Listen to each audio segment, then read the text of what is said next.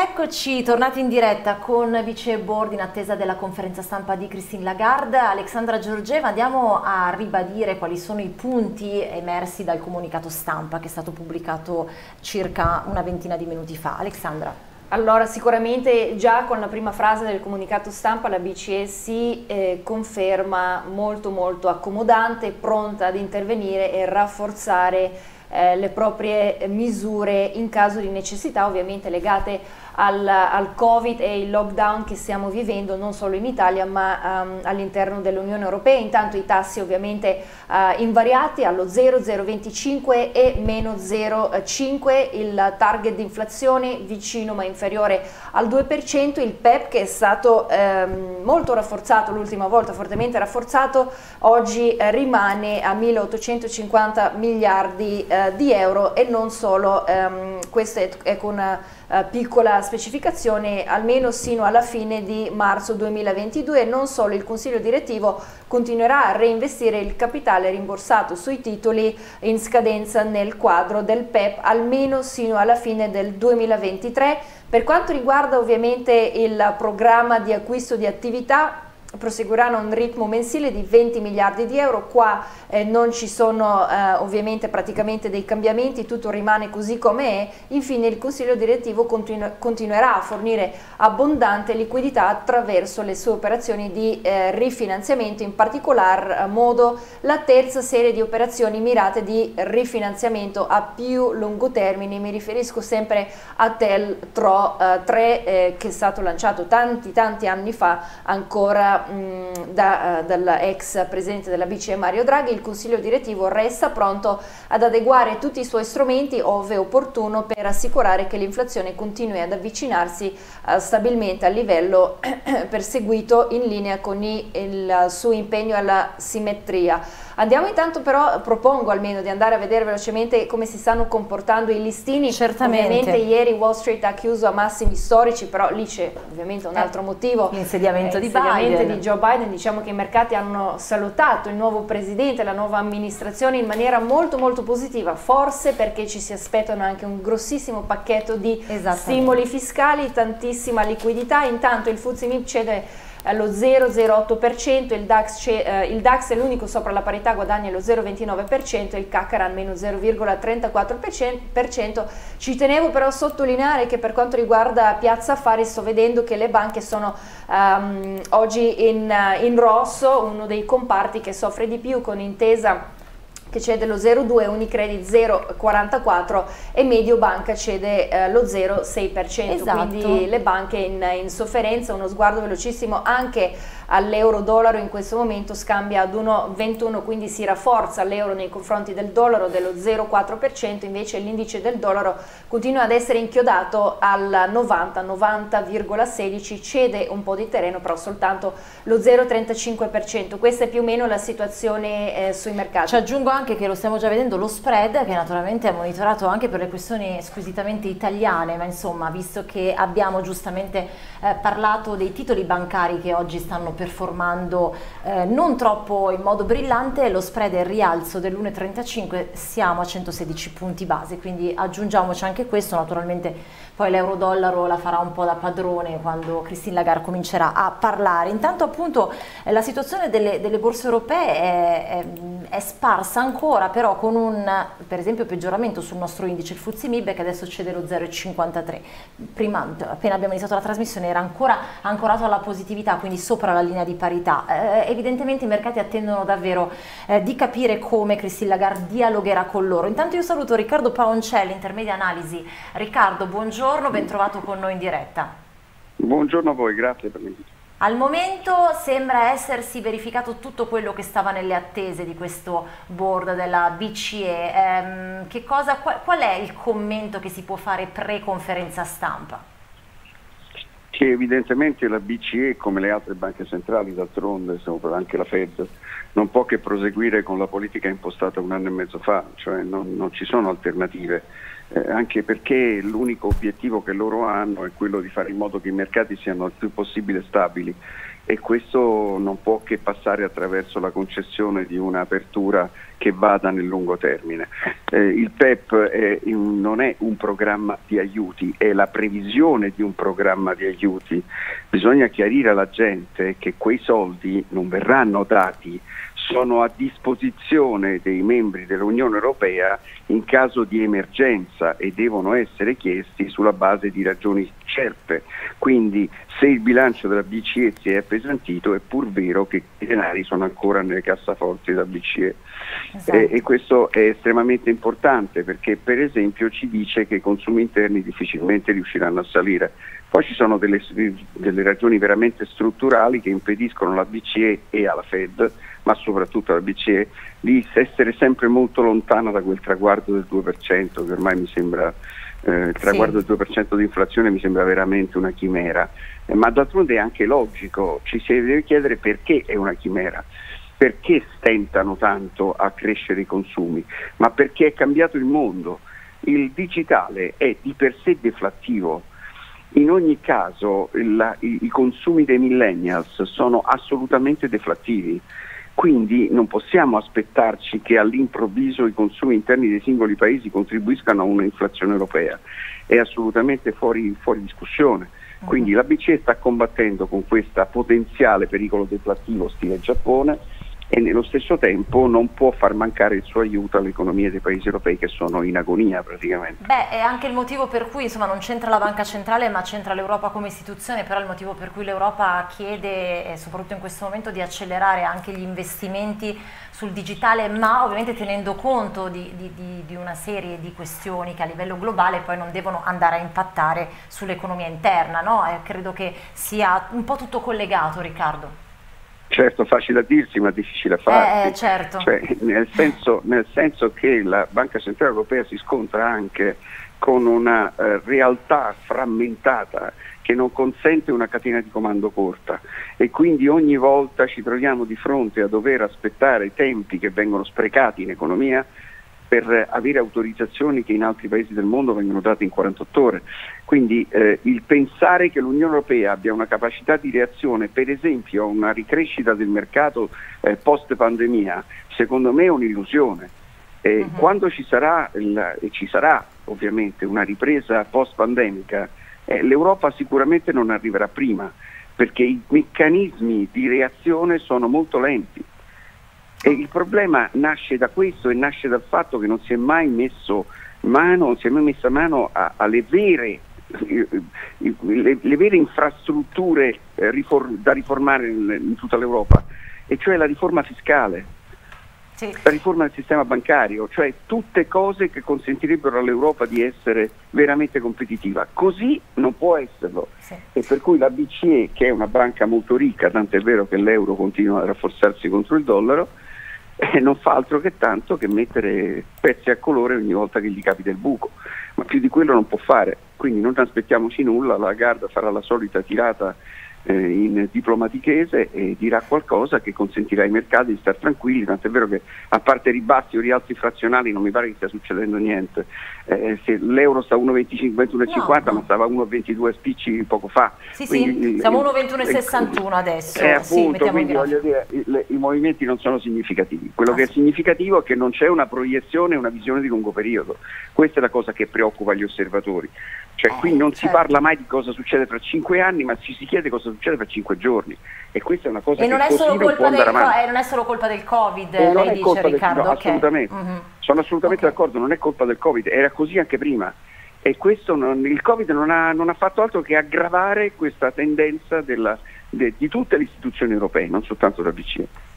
No, infatti eh, volevo appunto sapere se magari Christine Lagarde farà riferimento al, al, piano più importante dell'Europa, ovvero il Next Generation EU, lei non manca mai a fare un commento, anzi ha un passato politico, quindi si sente eh anche sì. autorizzata di, dire, di, di, di, spingere un po' i leader europei a dire, muoversi perché effettivamente anche considerando la situazione italiana, se vogliamo, con la crisi di governo che abbiamo vissuto che non si è del tutto risolta, potrebbe fare qualche riferimento appunto alla al piano Next Generation?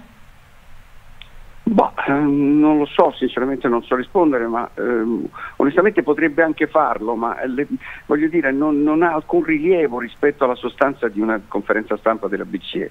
La conferenza stampa della BCE dovrebbe chiarire agli operatori di mercato, agli osservatori internazionali, al sistema bancario, ai politici, l'atteggiamento della Banca Centrale Europea rispetto alla prospezione economica dello stesso continente nei prossimi 30 giorni almeno. Ogni volta ne usciamo con delle dichiarazioni di facciata, con delle dichiarazioni soltanto formali che non, non, danno né ai mercati la possibilità di intervenire, tant'è vero che i mercati poi si basano su ben altre analisi che non sono quelle della BCE e soprattutto confermano che sono completamente incessati, cioè non hanno più la possibilità di fare nulla se non quello che hanno fatto. Okay. E quello che hanno fatto è sotto gli occhi di tutti, siamo tutti in attesa che i vaccini ci consentano di avere una ripresa economica eh, continentale. Eh, sappiamo che tutto il 2021 passerà più o meno così, perché facciamo, siamo chiari, il 2021 passerà più o meno come è adesso, uh-huh. con tutte le conseguenze di carattere economico disastrose che ci saranno specialmente nei paesi deboli, vedi il nostro. Certo. Quindi non è che la BCE interviene sulle strategie, il BCE le sue strategie le ha denunciate due anni fa e quelle sta attuando. Ok. Fine. Eh, tutto lì. No, no, è chiarissimo. Allora, Riccardo Poncelli, grazie, Intermedia Analisi, grazie per essere stato con noi e ci sentiamo presto sulle fonti TV. Attendiamo dunque tra pochissimo a Christine Lagarde, poi metteremo insieme tutte le varie considerazioni che abbiamo fatto. Grazie, eh, a presto. Grazie, alla prossima. Grazie.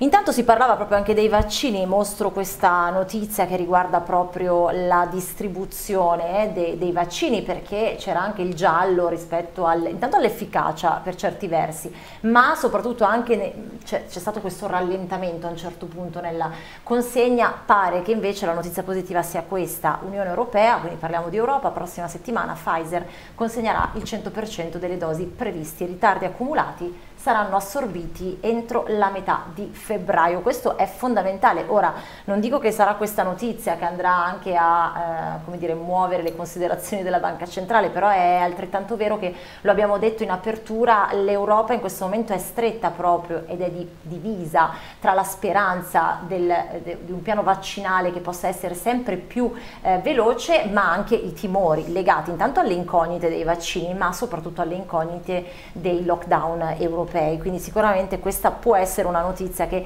eh, un, un, qualche eh, respiro in più agli investitori potrà dare. Mentre attendiamo l'ospite successivo per poi avviarci alla conferenza stampa, vediamo la schermata generale degli indici, così li vediamo tutti insieme, che ancora mostrano una situazione contrastata in Europa con il FTSE MIB che ha leggermente recuperato ma eh, cede comunque lo 0,19%, il DAX di Francoforte invece seppur eh, un po' più debole resta sopra la parità, più 0,19%, 0,19, il CAC di Parigi invece sotto la parità, ieri Parigi ha messo in atto le nuove restrizioni, quindi vediamo anche come gli indici e il mercato si muovano eh, parallelamente anche alle decisioni che vengono prese a livello governativo, attendendo invece le mosse della Banca Centrale Europea, l'Ibex di Madrid resta sotto la parità, meno 0,15% e poi vabbè l'euro-dollaro che è un po' il timone oggi della situazione eh, con l'euro ancora rafforzato, ma questa non è una novità, ormai stiamo stiamo ragionando intorno al potenziamento della moneta unica nei confronti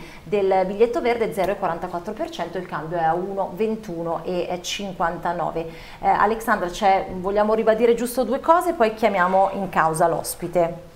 No, assolutamente sì, ecco eh, per il momento comunque l'atteggiamento della, della, Banca Centrale rimane estremamente accomodante, sarebbe interessante appunto capire con il nostro ospite Infatti. quanto tempo però eh, possa continuare eh, questo atteggiamento e non solo eh, se eh, potrebbe preoccupare ancora di più questa dipendenza eh, degli certo. stessi governi nei confronti della BCE perché si parla tanto della Next Generation UE però ehm, lo chiediamo subito tuttora, tuttora non, ne, non ne vediamo ecco, i risultati Ecco, vediamo se ha già sentito la domanda, ma, che era una riflessione da parte di Alexandra, ma la giriamo insomma, con un punto interrogativo a Gianluca Lobefalo che è con noi per questa parte Salve, della... Eccolo qui, buongiorno Gianluca, grazie per eh, per questa presenza. Allora, eh, una, una, view generale sulle attese anche nel medio periodo rispetto alle prese di posizione delle banche centrali europee. Cioè, eh, prima abbiamo detto, insomma, nessuno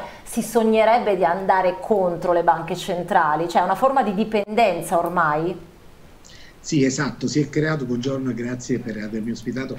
Effettivamente sì, si è creata una situazione di dipendenza che eh, negli anni passati eh, sembrava essere un po' una, un caso limite che avrebbe potuto provocare quello che poi abbiamo adesso visto, secondo molti analisti, essere il moral hazard e questa dipendenza da parte delle banche centrali.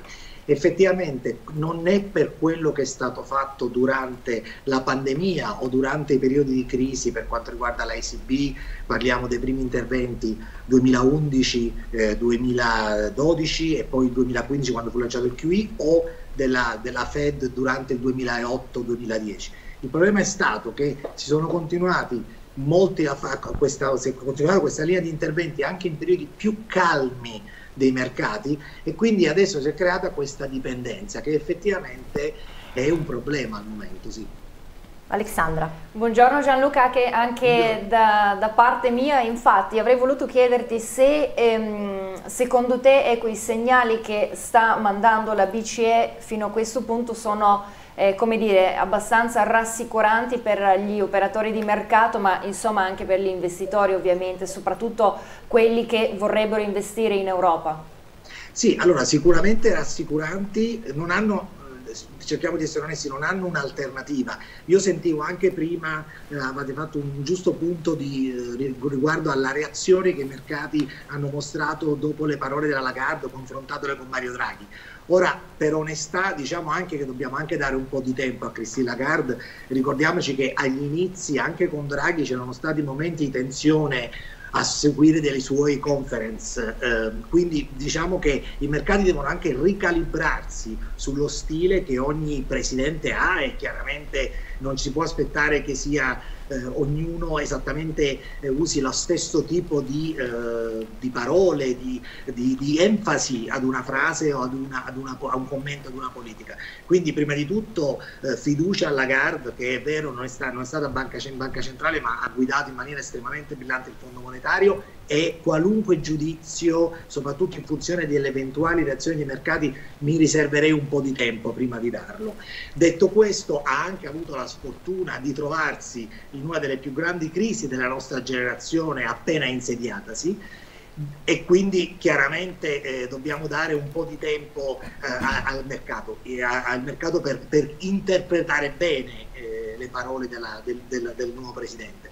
Detto questo, i mercati sì, possono sentirsi confortati da quest, dalla politica prevista dalla Banca Centrale Europea che, come dicevamo prima, ormai sono all'unisono, cioè non è che è molto diverso da quello che vediamo nella Banca del Giappone, quello che vediamo principalmente dalla Fed, che comunque continua ad avere un ruolo primario sia come intervento che come segnale al mercato, perché tutte queste manovre soprattutto hanno un ruolo di segnale, non è tanto eh, il, la, la quantità eh, la, la, dimensione di un singolo intervento, come diceva prima il, il collega, il PPP è infatti è soltanto una promessa, ma quello che è il valore è il signaling e come il mercato legge, legge questi segnali. Esatto, ehm, peraltro beh, ci sono un po' di commenti dei nostri telespettatori, però un commento flash su una considerazione ancora eh, di come i mercati si pongono diversamente nei confronti di Christine Lagarde e di come si ponevano nei confronti di Mario Draghi, no? lo stavamo già anticipando. Intanto un amico ci scrive secondo me oggi la sterlina crolla parlando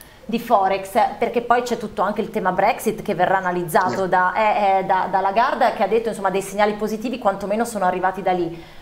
E ci commentano anche i nostri analisti, alcuni dei nostri ospiti che intervengono. Salutiamo Scatta col trend Enrico J. Draghi chiese le riforme, disponeva di un bazooka con tutte le munizioni. Miss Lagarde ha detto le stesse cose ed è stata crocifissa oltre ad avere in mano un cerino quasi spento. Indubbiamente la situazione è ancora più aggravata. Ehm, Gianluca, un commento da parte tua eh, ma poi appunto è stata crocifissa forse fin dalla sua prima mh, mm, uscita, sortita no, sullo spread, lo dicevamo prima che era un po' messa uh, all'angolo, cosa ne pensi? E poi ma ti guardi, salutiamo. Io, sì, io credo che queste cose vanno ben storicizzate, io vorrei ricordare che nell'estate del 2012 il pomeriggio in cui Draghi eh, uscì con quella frase che è diventata leggendaria che eh, whatever it takes and believe me will be enough, la mattina era stato quasi grigliato, crocifisso da alcuni investitori in una conferenza pubblica Quindi eh, sarei, potremmo fare questo commento sulla Lagarde spostandoci al 2012 e cambiando il nome di Draghi e poi adesso tutti ricordiamo giustamente Draghi come in alcuni casi il salvatore dell'euro è probabilmente uno dei migliori presidenti che la che Banca Centrale Europea avesse mai potuto sognare di avere.